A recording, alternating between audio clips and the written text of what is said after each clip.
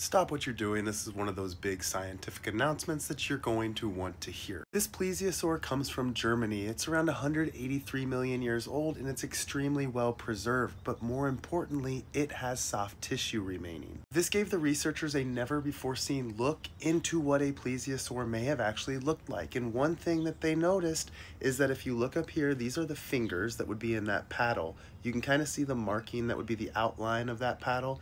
Right here, those are some scales. Plesiosaurs had scales on their flippers, at least some did. But they were also able to get soft tissue from the tail, and that soft tissue is where they were able to find skin cells. So check this out right here. This is showing where it comes from. Here's a cross section.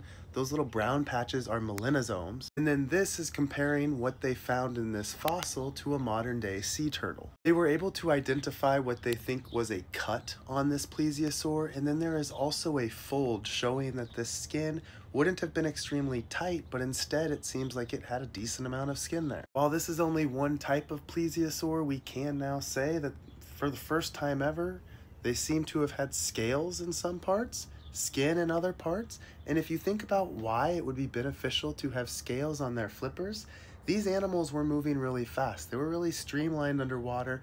They were also moving pretty close to the floor. It would make sense that those scales would kind of give them better um, toughness, I guess you could say, as they were rubbing up against the seafloor, moving fast, chasing animals. And there was evidence of some of the animals they were eating in the gut contents. We could see some shells in there showing that they were eating some animals that had shells. Follow to keep up to date as we learn more about ancient life on this earth because if you thought this stuff was cool when you were little but then just like forgot to care for 20 years, come back, check this out. You might get interested again.